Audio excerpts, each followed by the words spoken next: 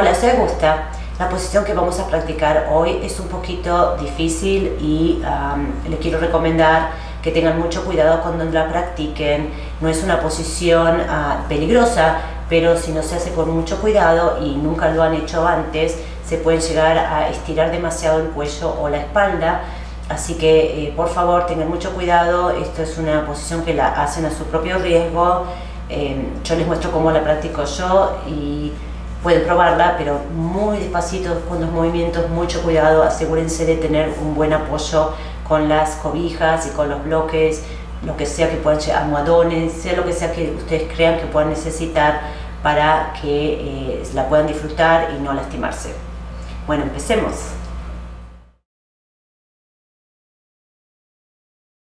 Hola, bienvenidos a Caballala, soy Augusta. Hoy les quiero mostrar cómo hacer el shoulder stand, o sea, estamos apoyándonos en nuestros hombros con las sillas.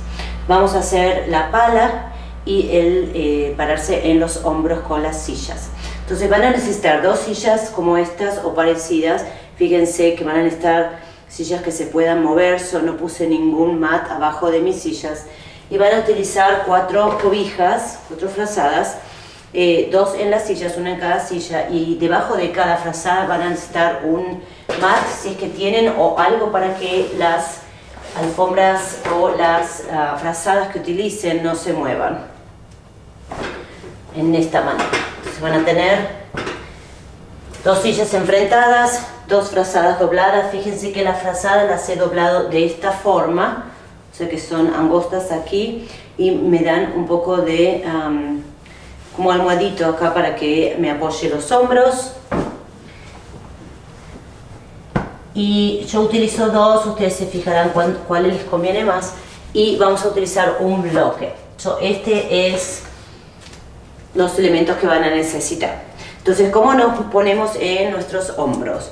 Nos vamos a sentar en la silla, empezamos por aquí, la silla primera, acercamos a las, a las frazadas bastante y vamos a poner los pies arriba del respaldo y despacio, con mucho cuidado, vamos a empezar a bajar. Fíjense que la otra silla no esté muy cerca, que no se golpee en la cabeza. Y despacio, manteniendo los, la cadera arriba de la silla que está donde están nuestras piernas. Vamos a empezar a bajar despacio hasta nuestros hombros estén apoyados en las frazadas. Vamos a utilizar los brazos para ponerlos abajo de las patas de la silla para que nos ayuden a poner esos hombros bien abajo para apoyarnos. Y después vamos a levantar las piernas para que esté en 90 grados. Fíjese que si no es suficiente con dos, se van a dar cuenta, si necesitan una más, utilizan una más. Entonces acá tengo dos frazadas Quizás una más me haría bien también utilizar, capaz que lo haría para probar cómo me siento. En realidad generalmente yo uso dos, por eso puse dos. Y aquí nos quedamos un rato estirando los pies, contrayendo los muslos y siempre fijándonos si podemos poner esos hombros abajo un poco más, utilizando los brazos que están agarrando las patas de la silla. Y ahí nos estiramos, no doblamos la cabeza siempre mirando hacia el techo para que el cuello se proteja. Y como la pelvis está apoyada en, la, en el asiento de la silla, no hay peso, entonces es más fácil de quizás quedarse así un buen rato. Y es muy bueno para los hombros, para relajar el cuello y para las piernas, porque estamos mandando la sangre hacia la cabeza, que siempre estamos con el peso arriba de los pies y esto es muy bueno para descansar las piernas. Y cuando estén listos de bajar, van a poner los pies en la silla, mover los brazos despacio y bajar la cola de la silla bien despacito. Si tengo ahí el bloque que me va a sostener la cola cuando la, la voy a ir bajando. Me corro y me acomodo y me puedo quedar así un momento con los brazos en cactus y después podemos empujar un poquitito con los pies. Y podemos correr la silla y podemos mantener aquí las piernas arriba de la silla. Y cuando queramos, quizás mover la cobija. Y quedarnos aquí un ratito, que se siente muy lindo. Y después rodamos hacia los lados, hacia uno de los lados, para salirnos de esta posición. Ahora, digamos que nos queremos poner en la pala. Entonces, yo les doy los ejemplos y ustedes pueden probar las distintas formas de hacer esto. Entonces yo voy a volver a subirme a mis hombros para mostrarles cómo paso de una posición a la otra. Entonces la primera, empezamos de nuevo, me voy a ir poniendo otra vez, despacio, voy bajando, ¿sí? pongo mi, mis hombros por debajo, y agarro la silla, toda la primera parte estoy igual, pero en vez de bajarme esta vez, estamos acá en, la, en los hombros, en vez de bajarme de aquí hacia el piso, me voy a ir hacia la pala. Entonces agarro la otra silla, bajo los pies, el respaldo aquí de la primera silla, agarro la otra y la traigo hacia mí. ¿Sí? Sigo que sus, mis hombros estén bien abajo y agarro las patas de la otra silla que tenía enfrente y traigo mis piernas. ¿Sí? Traigo una primero o la otra, las dos juntas si quiero. Cada una es diferente y voy a poner mis muslos.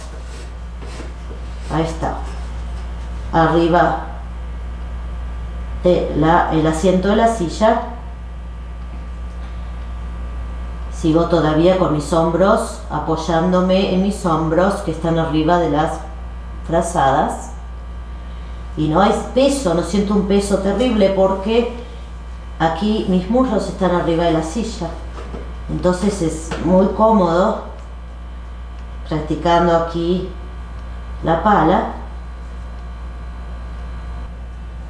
Relajo los brazos, permito el estiramiento del cuello,